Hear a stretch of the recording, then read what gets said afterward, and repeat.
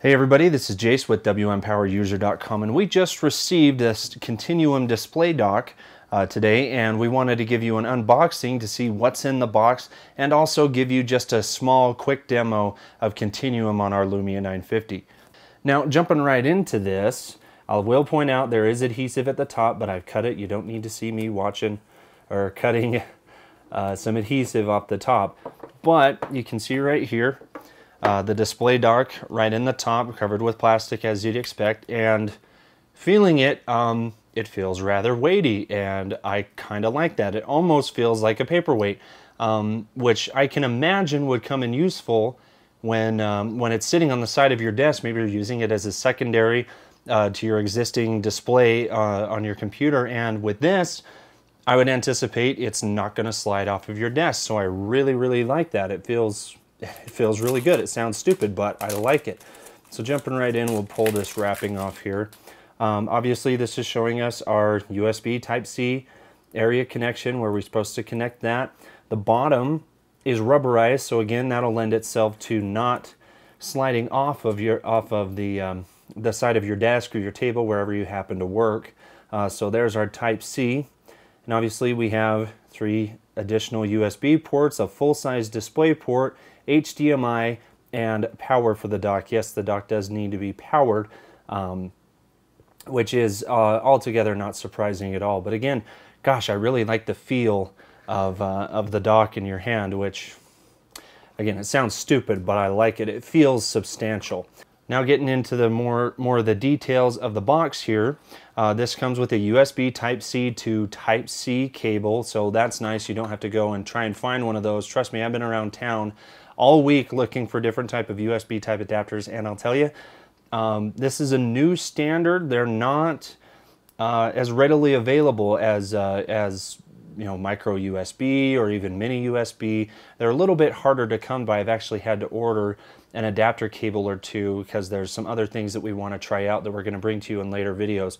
The other thing that you're going to get here is um, a power power cable, which is also USB Type-C that you'll notice there. So uh, if nothing else, gosh, you get an additional power charger as well. So with what's included with the 950 and the 950 XL, they come with a fast charger and additional USB Type-C cable. You're gonna have this charger or charger slash power source for your Continuum dock, but you also get this Type-C to Type-C cable as well. So that's it for what's in the box.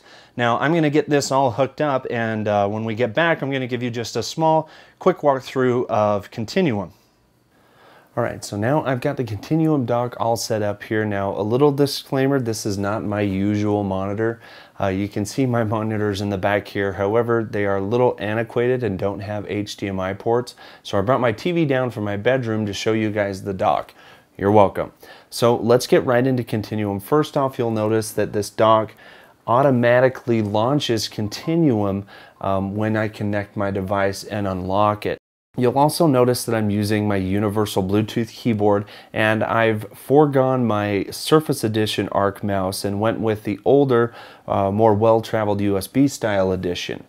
I did it on purpose to show that yes, Continuum Dock does work with just about anything, any USB device you want to plug into it, but that's not to say that you can only use Continuum with the mouse and keyboard. In the Continuum application on the device, you'll notice that a virtual touchpad is on the screen that allows me to control the mouse, complete with multi-touch gestures for scrolling.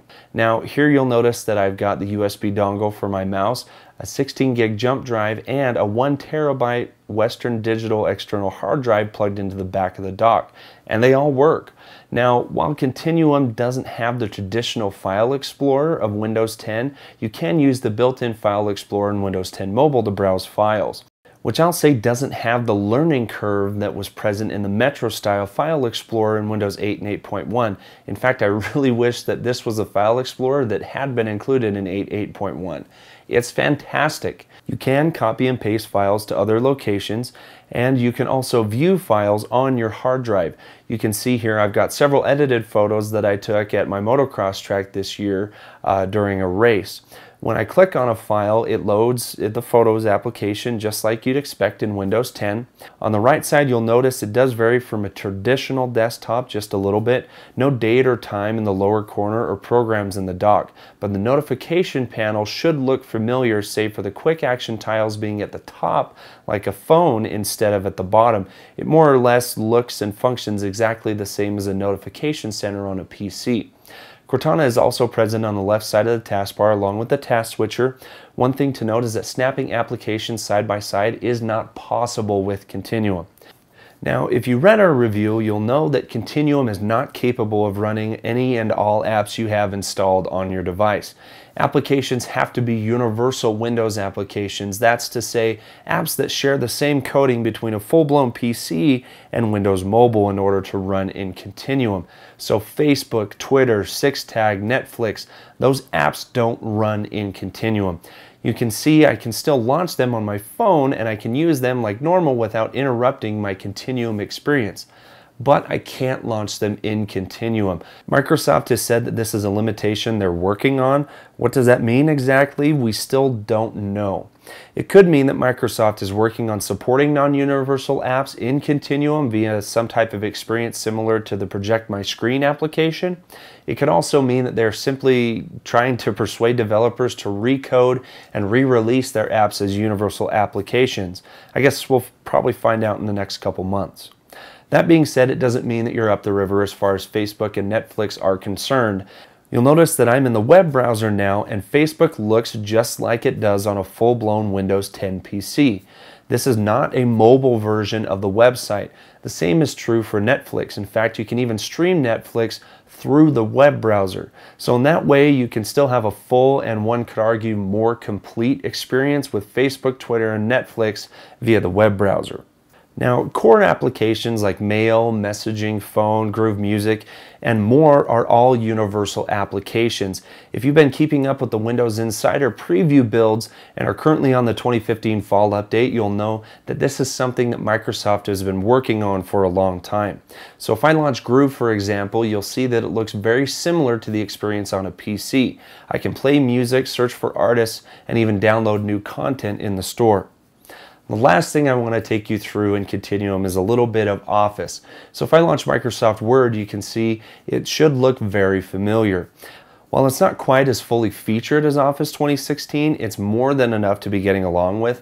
Formatting, inserting tables, and other features are here, which, let's be honest, that's about all that 90% of people use anyway. You'll also notice that keyboard shortcuts are very effective. Control X to cut, Control V to paste, and yes, even Control P to print work in Word and Continuum.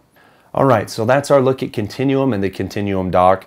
While it does have its hangups, we feel like Continuum is laying the groundwork for a really cool experience on Windows 10 Mobile.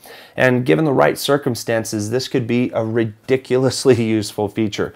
As always, make sure you stay tuned into WMPowerUser.com for the latest in Windows Mobile news, and make sure you subscribe to our YouTube channel.